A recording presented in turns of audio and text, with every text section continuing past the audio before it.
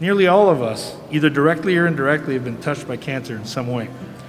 Receiving a cancer diagnosis and hearing those words for the first time can be scary, overwhelming, and it can be very difficult to know even where to begin.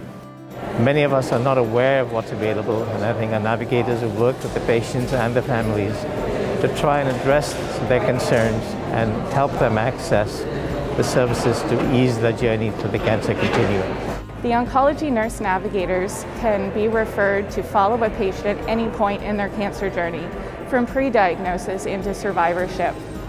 Um, we can help break down the barriers to care and help facilitate referrals and collaborate with other healthcare professionals to make someone's cancer journey as smooth as possible.